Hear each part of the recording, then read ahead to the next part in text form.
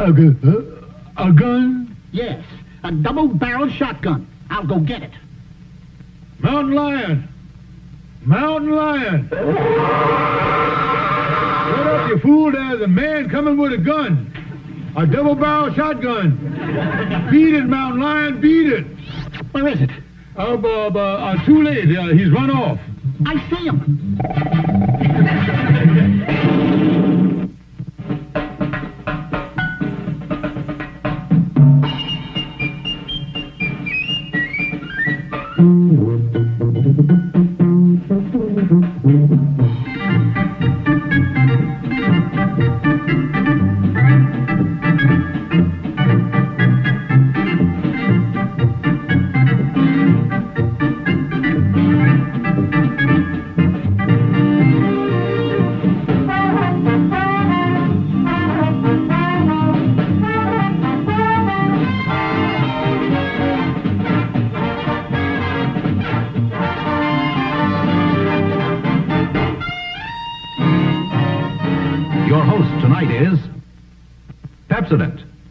Cleaningest toothpaste. Catch clean-cut fellas like us working for anything that isn't the cleaningest.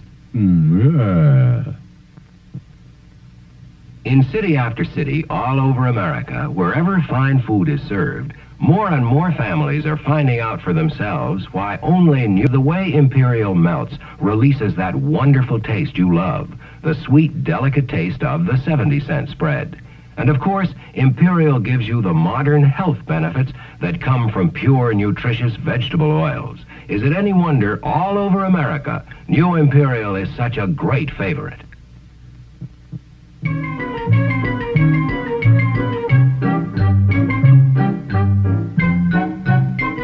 Colonel, are you and Maggie Belle and Sister Sue really going to take a vacation in the mountains? Oh, yeah, Calvin. Uh, that's why I'm clearing up my desk here. Say, uh, where you going on your sabbatical leave? Well, Maggie Belle and her sister Sue gave me $200 this morning. Oh? And I called another real estate agent I heard about, and I rented us a beautiful cabin up in the mountains up there in Monroe County. It's called Sycamore Lodge. Well, when did y'all get up that eyeball this place, Colonel? Well, I didn't have to look at it, Calvin. Yeah, you never heard of one real estate man getting gypped by another real estate man, have you? Well, no. But it can't be much of a vacation going away with your wife and her sister Sue. Hmm, what do you mean, Calvin? Well, it seems to me you're just transferring the nastiness from one locale to another. Well, when you've been as visible as I have, any change is an improvement. ah, bullseye. Well, see you in two weeks. Bon voyage and all that sentimental rubbish. Uh-oh. Hmm. Just take a look at that. I'd better get up there and check our vacation cabin.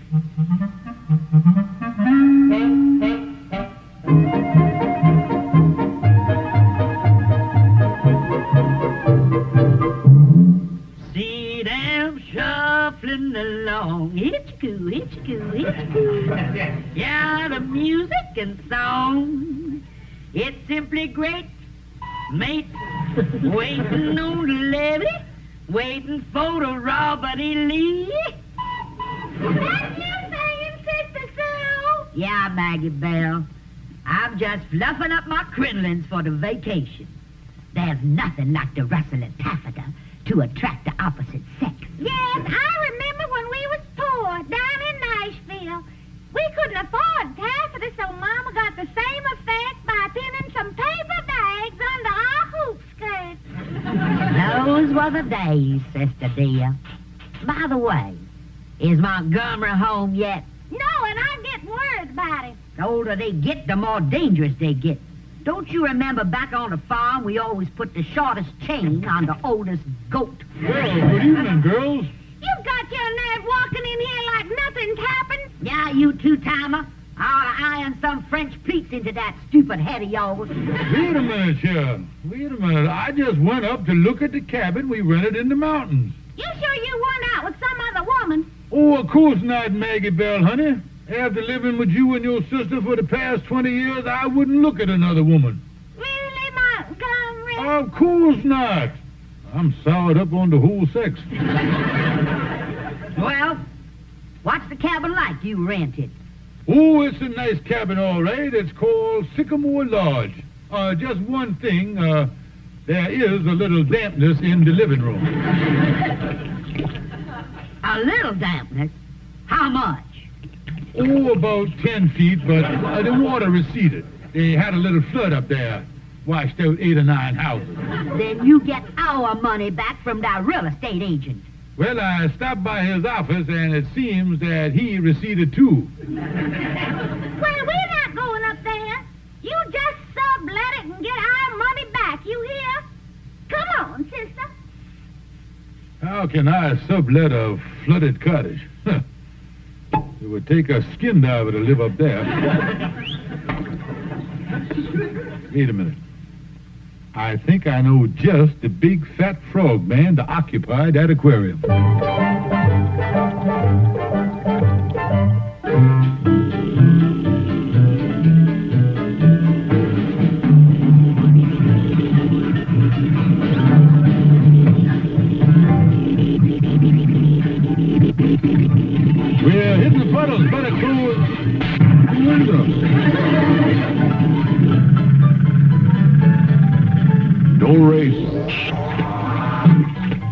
Motor. From here on, Calvin, the trip gets a little rough.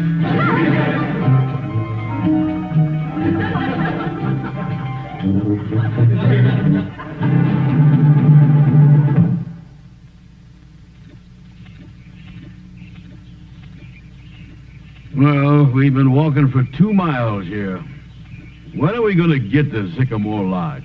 We're almost there, Calvin. Uh-huh. Almost there. Hey, look here, Colonel. What is this salmon doing this far from the water? No, no, that's not a salmon, Calvin. That's a flying fish. He probably flew up to the mountains here to spawn. Yeah. Well, I hope I'm going to like this place that you're renting me. It's a beautiful spot. Pine trees, smack in the middle, Sycamore Lodge. Fireplaces, picture windows, luxurious rooms, spacious porches. There it is, Calvin. Sycamore Lodge in all of its grandeur. I guess you're overwhelmed by the rustic splendor, aren't you, Calvin? I must be overwhelmed by something, because all of a sudden I got a dizzy spell. Well, you're just not used to the mountain air, that's all.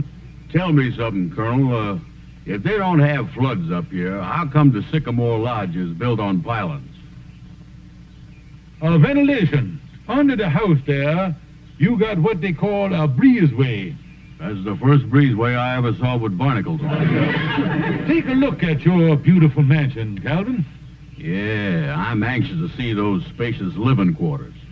Now, right this way, Calvin. Now, uh, watch those loose boards there.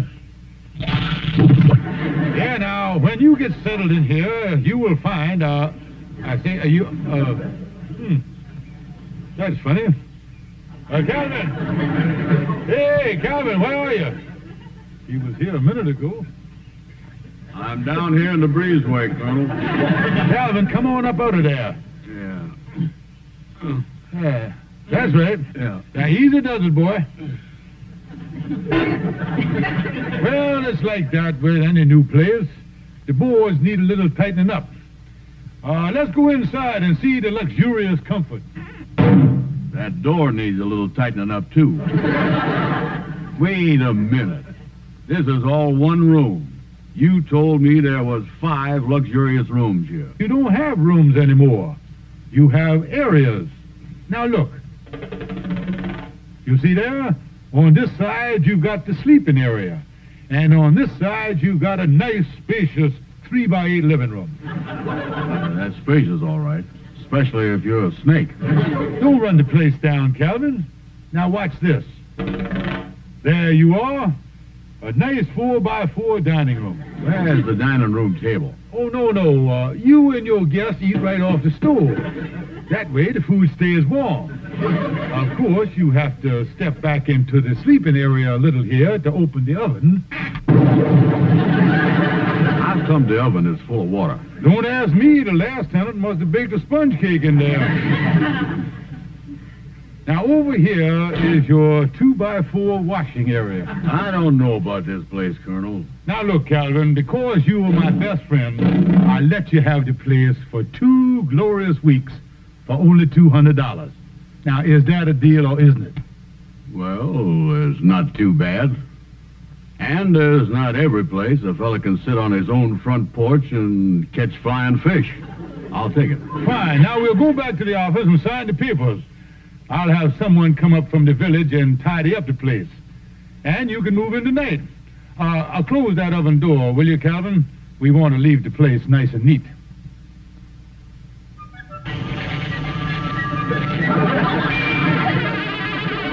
Colonel? Uh, down here. Uh, just inspecting the breezeway.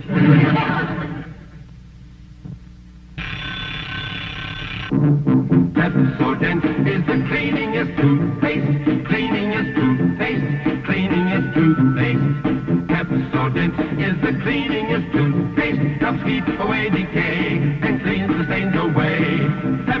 the very best cause it's the cleaningest. No other leading toothpaste can beat Pepsodent for cleaning your teeth their whitest and brightest.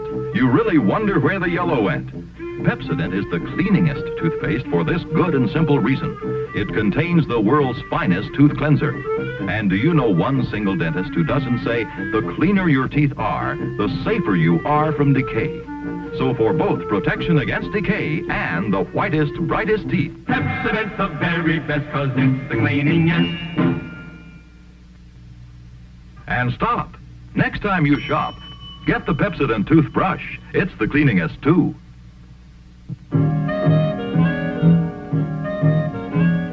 Montgomery, what do you mean you subleased the cabin? Yeah. Why would you do a stupid thing like that? Now, wait a minute here. You told me to rent it. I got us off the hook by subleasing the place this afternoon to Calvin Burnside. Well, we figured you wouldn't do anything, so we subleased it this afternoon to a Mr. Thompson. How dare you double cross us by doing something good for once in your life? Now, listen, maybe it's not so bad. Calvin moves in tonight. Maybe I can get him out before Mr. Thompson moves in. He moves in tonight, too.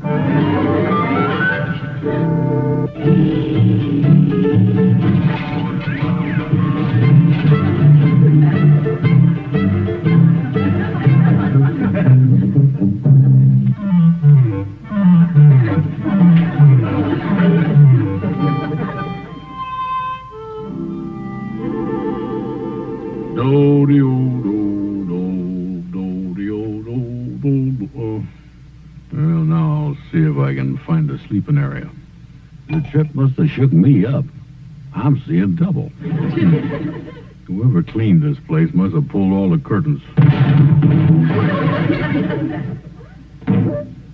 I wish I hadn't fell down the breezeway and busted my flashlight.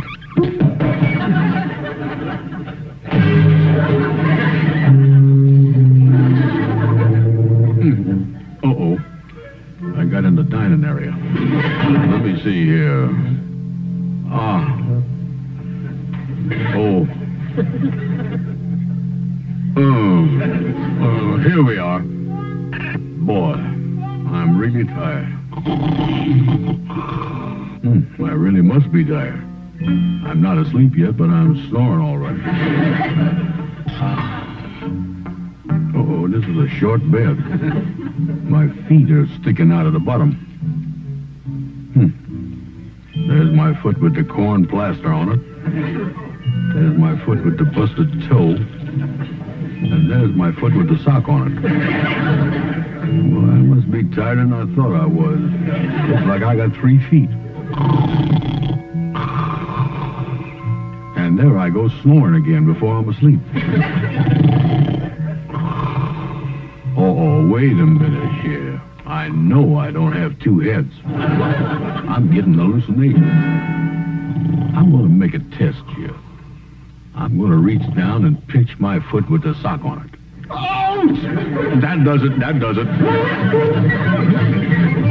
Oh.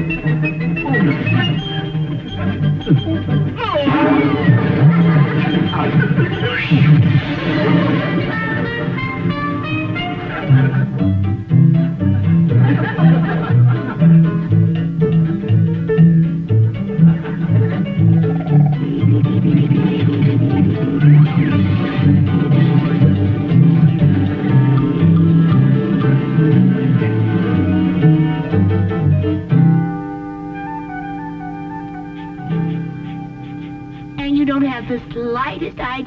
gentleman was that was occupying your bed? No. When the colonel rented me the place, he didn't say anything about sharing my boudoir. Oh, the colonel rented you the place. Well, then don't you see what he did to you, Calvy, honey? Do I see what he did to me? ha, ha, ha. What'd he do? Why, he rented that cabin to you and to someone else at the same time. Hmm. You know, when I think this over, I got an idea I'm going to be real mad at that colonel. Now listen, Calvin, will you stop screaming at me? Now listen, I resent that, sir. No use getting hot-headed. I know, but... Uh, but... Oh, but...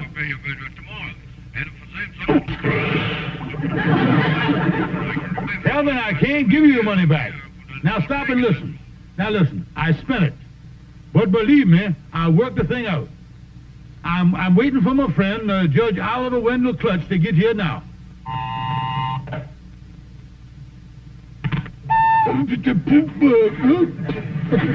come in, Judge.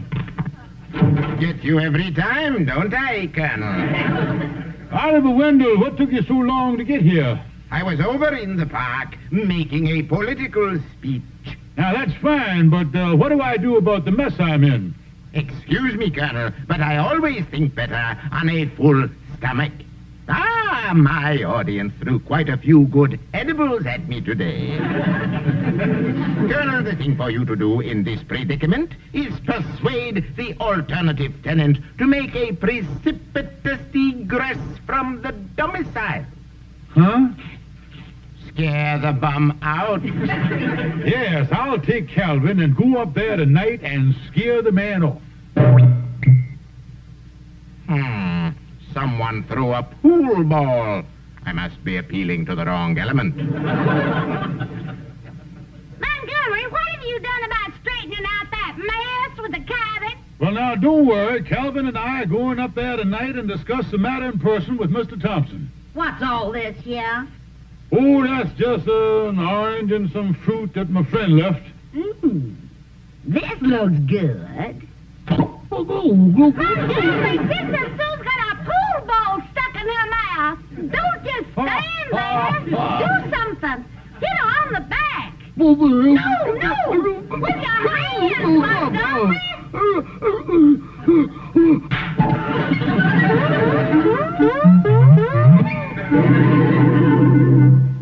Now, why can't I do that down at the pool hall?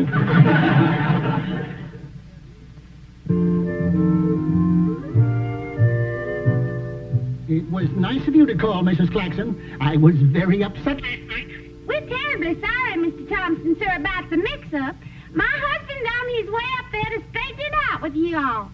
Well, I'm not taking any chances up here tonight. After what happened, I went down to the village and bought myself a double-barreled shotgun.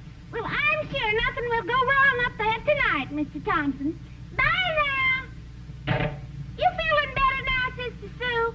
Oh, no, no, well, well, no. If there's any trouble around here tonight, someone's going to get a face full of iron.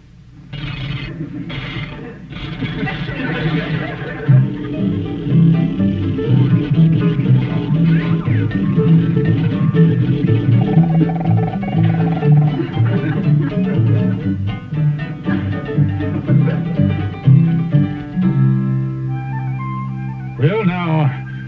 here is the cabin, Calvin. Yeah, that Mr. Thompson must be there. The lights are on. You think this scheme of yours is going to scare that man out okay? Well, when we get through with him, he's going to perform self-eviction. Now, when I go in there, you know what to do out here. Yeah. I hide here in the bushes and I pulls the gimmick.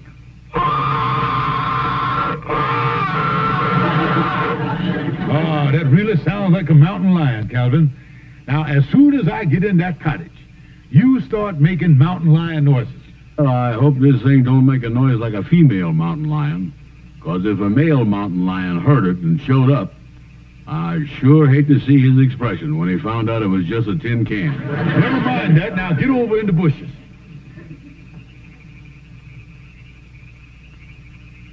Hmm. I see he's got the breezeway entrance fixed. Yes, yes. What is it? Uh, don't be alarmed, Mr. Thompson. I'm no ferocious monster from out in the woods. I'm only your landlord. Oh, you must be Colonel Klaxon. Yes, I just dropped in to see if you were comfortable up here in this lonely, desolate spot. Well, I was telling your wife that I had quite an experience last night. I woke up in the middle of the night, and there was this person in my bed. You don't mean to tell me. Well, at least you weren't sharing the covers with a coyote or something like that. It was a frightening experience. Well, this being such a wild part of the woods, anything might happen. Why, there might, uh... Good heavens! Uh, what was that? Oh, that was just one of those man-eating ferocious mountain lions that scares the city folks so much. Hmm. He sounds a little hungry tonight, doesn't he? I, I didn't realize there was mountain lions up here. Oh, the woods are full of them. Hmm. Sounds like he's ready for a blue plate dinner tonight. I'm prepared for something like this. After last night, I went into town and bought myself a gun. A gun? A gun? Huh? A gun? Yes, a double-barreled shotgun. I'll go get it. Mountain lion! Mountain lion! Shut up, you fool. There's a man coming with a gun. A double-barrel shotgun. Beat it, mountain lion, beat it. Where is it? Uh, uh, uh, uh too late. Uh, he's run off. I see him.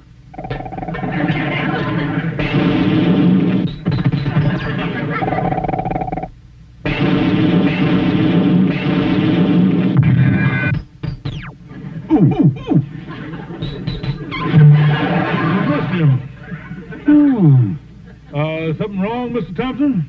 Seems to me that mountain lion was wearing a straw hat. uh, Klaxon, I'm moving out. I want my money back. Well, you can move out if you want to, but no refunds. Uh, that was 200 cash, wasn't it?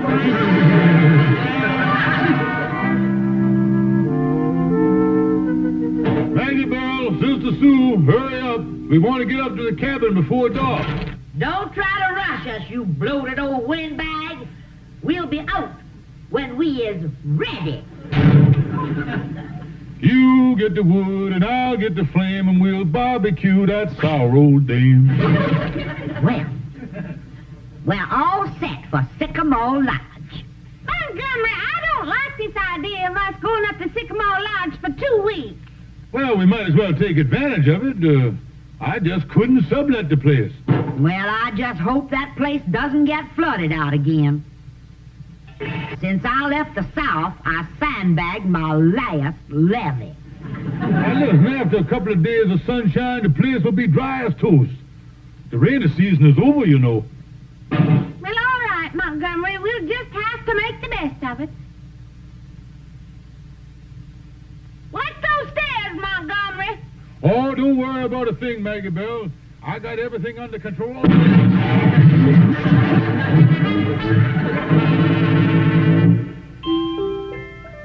Good morning, Maggie Belle, darling. I brought your breakfast, honey lamb. Well, Montgomery, what did you bring me? A fat back and fried mush.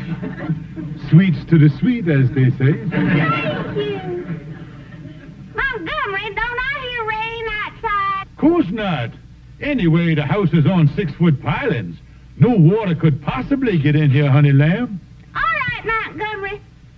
Say, you forgot my coffee. Oh, well, I was waiting for the milk.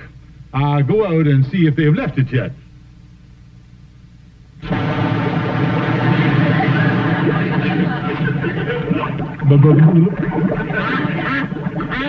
Welcome to Sycamore Lodge.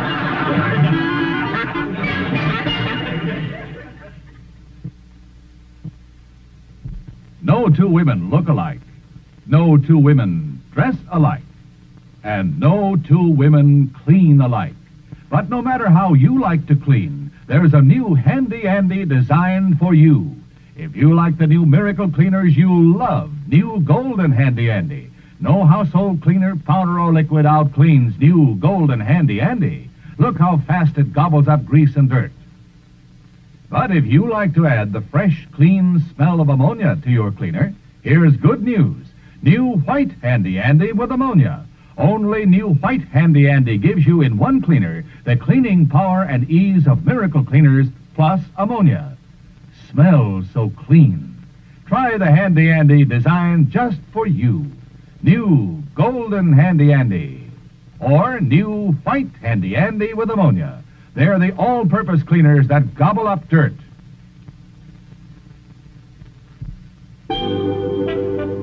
Well, Calvin, the vacation is over and back to business. Yeah, I guess Maggie Belle and her sister Sue were a little upset when you got flooded out up at Sycamore Lodge, huh? Well, the three of us sat on the roof of the cabin for a couple of hours and exchanged insults until the Coast Guard come along. Coast Guard. Yes, they sailed us into town. The Salvation Army gave us some dry clothes, and we came back home. Yeah, Colonel, I wondered why you were dressed up better than usual. But what gets me is the nerve of that real estate man misrepresenting that miserable cabin to me like he did. I tell you, it's a disgrace to the noble profession of real estate to sell something. Uh, Montgomery J. Klaxon Real Estate. Uh, what's that? Yes, I do have a cottage to sublet for two weeks. Well, uh, picture, if you will, a crystal clear lake. Stately pine trees surrounding its border. And in the middle of this gorgeous setting, beautiful, stately sycamore lodge. Fireplaces, picture windows, five luxurious bedrooms. Calvin and the Colonel was brought to you by New Improved Imperial. The margarine made to taste the same as the 70 cent spread.